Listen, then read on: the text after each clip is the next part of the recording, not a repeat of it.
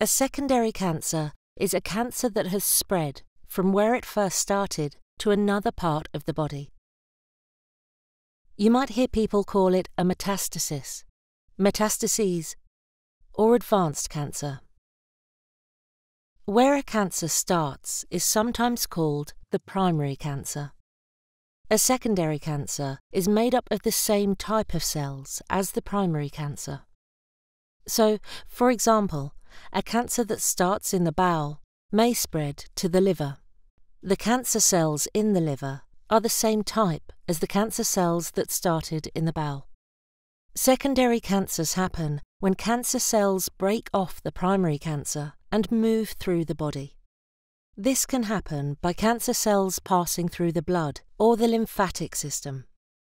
The lymphatic system is a network of tubes and glands that filters body fluid and fights infection. The cancer cells can travel through the blood and lymphatic systems to other parts of the body. Most cancer cells die when they are moving through, but some don't and can pass through the blood and lymphatics into another part of the body. They can then grow and develop into another cancer in that part of the body.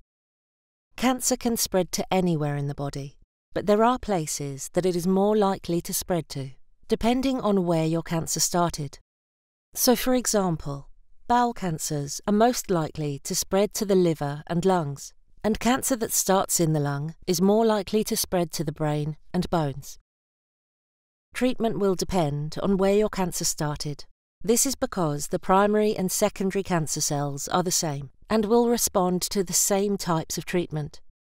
Treatment might include one or more types, such as surgery, cancer drugs, or radiotherapy you should talk to your doctor to find out how the treatment will work.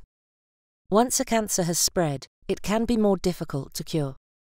The aim of treatment may be to control the growth of the cancer and any symptoms you have for as long as possible. Or sometimes the aim might be to get rid of the cancer completely. For more information about secondary cancer, go to cruk.org slash secondary hyphen cancer. For more information about your cancer type, go to cruk.org slash cancer hyphen type.